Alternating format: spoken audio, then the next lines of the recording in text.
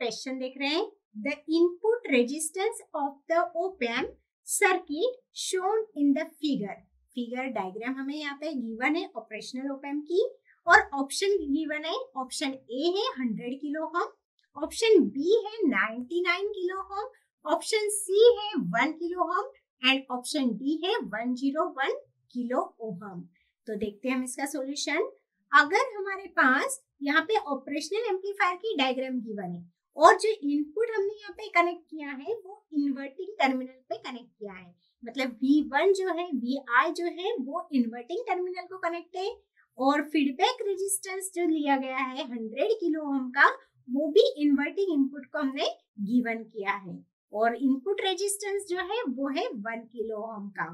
तो operational amplifier में हमें कैलकुलेट करना है यहाँ पे इनपुट रेजिस्टेंस तो इनपुट रेजिस्टेंस जो है, ये इन्वर्टिंग एम्पलीफायर है, जो हम डायग्राम देख रहे हैं, ये हमारे पास यहाँ पे एक इन्वर्टिंग एम्पलीफायर की डायग्राम है, क्योंकि इनपुट जो दिया गया है, वो इन्वर्टिंग टर्मिनल को दिया गया है। और इन्वर्टिंग एम्पलीफायर में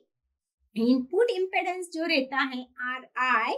वो nearly equal to R one के बराबर रहता है और आर वन हमें यहाँ पे दिया गया है R one is equal to one kilo ohm हमें यहाँ पे डायग्राम में दिया गया है। तो इसलिए इनपुट रेजिस्टेंस जो है, हमारे पास यहाँ पे ऑपरेशनल एम्पलीफायर में from the diagram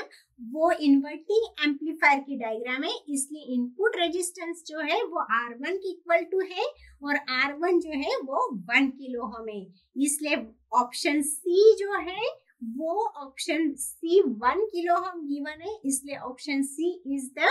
right answer